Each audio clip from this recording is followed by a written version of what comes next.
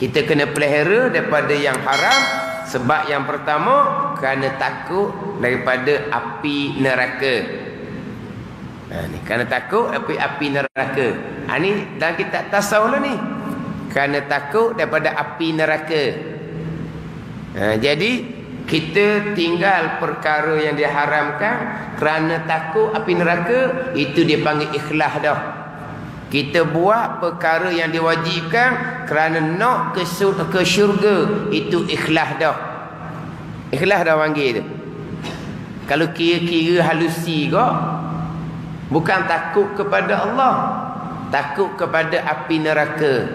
Bukan kerana Allah. Kerana nak syurga. Ha, kalau kira halusi tu. Macam lagi tu. Yang pertama terdahulunya kerana takut daripada api neraka. Takut kepada api neraka bukan takut kepada Allah. Ha, takut pada api neraka. Api neraka ni makhluk Allah.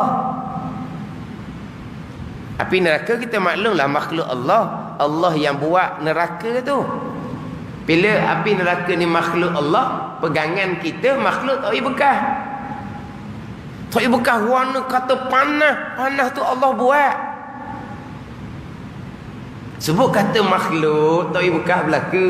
Api dunia ke. Kepanasan matahari ke. Kepanasan neraka ke. Semua panah tu Allah yang buat. Bukan api dunia yang buat. Bukan matahari yang memanaskan. Bukan neraka yang memanaskan. Semua Allah buat. Makhluk tak bekas sama sekali. Makhluk tak bekas ni bukan dunia. Dunia dan akhirat. Makhluk tak bekas sama sekali.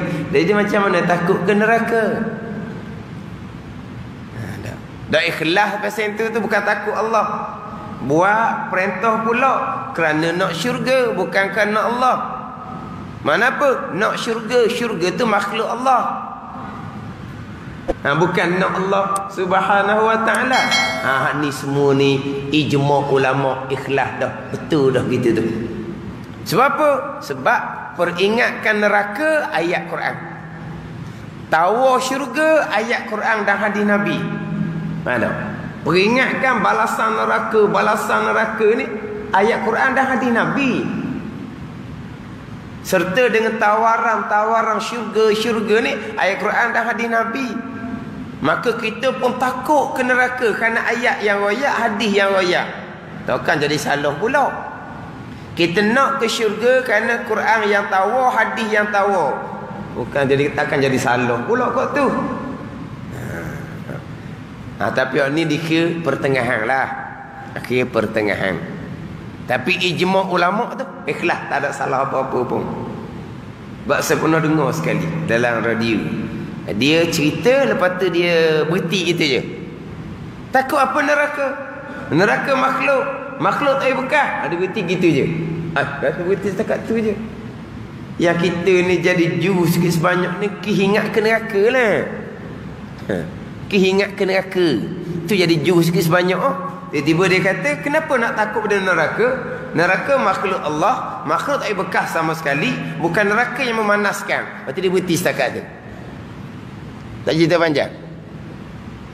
Pada satu ketika dia kata pula, kenapa kita nak syurga? Tak betul kita nak syurga. Kerana Allah lah, jangan kerana syurga. Lepas tu dia berhenti setakat tu je. Hai, rosak kata gitu. Ha, dia adalah level-level dia tu. Ha, dia ada level dia. Ha, sehingga kan kita ni tinggal makanan yang haram tinggal sumber pendapatan yang haram. Bukan kerana takut neraka. Oh, kerana yang pertama tu kerana takut neraka. Eh tak bukan kerana takut neraka. Tapi kenapa? Kerana takut kena balak atas dunia. Ha. Babit babit dengan riba kan? Ha kan kan? Mari api ke bakar harta benda kita ke? Ha Ha, kita babik ngeribak kenderaan kan? Eh, accident kan kenderaan dah babik ngeribak ni. Jadi kita uh, pelihara daripada yang haram. Yang pertama dan kita ni kata kerana takut neraka. Ha, kita bukan kerana takut neraka. Kita kerana takut Tuhan balas atas dunia ni. Ha, ha? Yelah kalau hak riba Tuhan balas Hak uh, rasuah Tuhan balas Harta benda yang terdapat daripada kita tipu orang pun Tuhan balas atas dunia ni. Maka kita takut hak tu. Maka kita pun jaga daripada yang haram. Hak tu pun ikhlas dah. Tak salah-salahnya. Sebagaimana kita turut perintah kita juga. Kita turut perintah bukan kerana syurga. Kita turut perintah bukan kerana syurga. Kenapa bayar zakat? Kerana syurga? Tak. Kenapa? Kerana takut Tuhan tarik harta-harta yang lain. Kalau tak bayar zakat. Maka dia pun bayar zakat. Kerana takut Tuhan tarik harta yang lain. Kih kerana tak bayar zakat. Mana dia bayar zakat? Bukan kerana nak kepada syurga.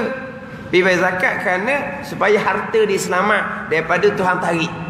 Ha, itu ikhlas dah tu. Tak ada apa. Tapi level-level dia lah. Level dia. Ada dia punya ha, apa apa? Peringkat-peringkat dia. Makna kerana apa tu? Kerana nak selamat atas dunia. Ha, jaga daripada makanan yang haram kerana nak selamat atas dunia. Turut perintah Allah bayar zakat kerana nak selamat atas dunia. Itu di ikhlas dah. Ha, ha, ni. Ha, ni kena letak molek lah. Ha, hak tinggi sungguh. Tak ada lah. Uh, takut neraka pun tak ada apa semua lillahi taala kan kita gitu kan? Ha? kita semayang kot ni.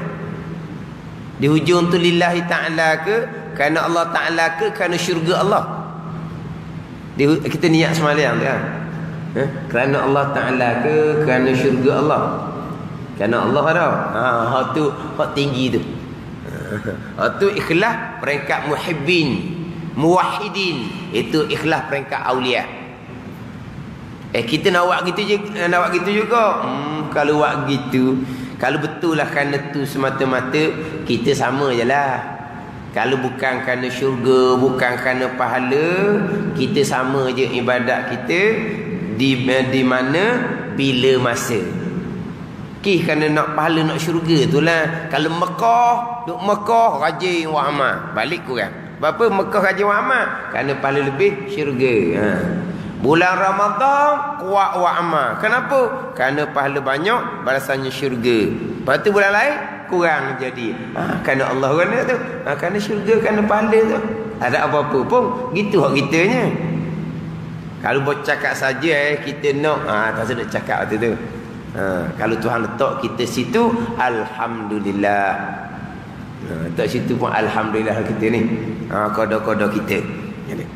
Jadi sebab yang pertama Kerana takut daripada neraka Dan yang kedua bahawasanya Yang makan